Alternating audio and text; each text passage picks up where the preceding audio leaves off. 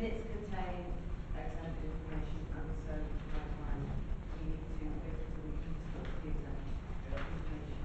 Are you happy to accept the minutes as a Agreed. record? Agreed. Thank you very much. And we now come to exempt information, exclusion of members of the public. The following items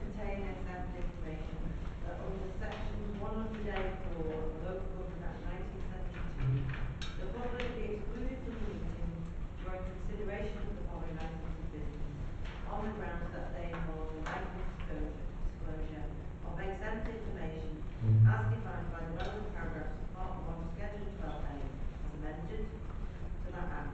Public interest test has been applied and favoured. Moving